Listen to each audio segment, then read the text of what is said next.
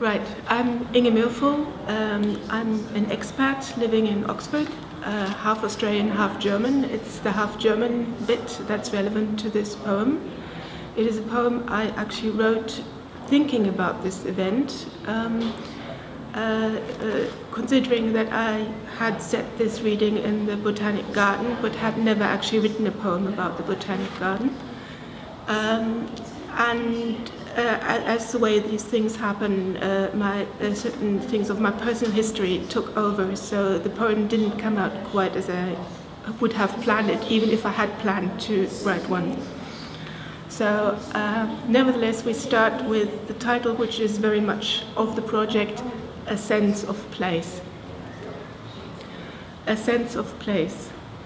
She liked the old botanic garden, although, as I remember, a very English rain drove us into the conservatory. It was her first trip abroad as a widow.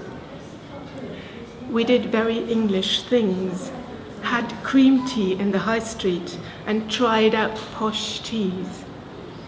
She sipped her first Keemun, acquiring an expensive habit. It was meant to be the start of things. This is Oxford. I live here. I cross Magdalen Bridge every day. So many. I did not think death had undone so many.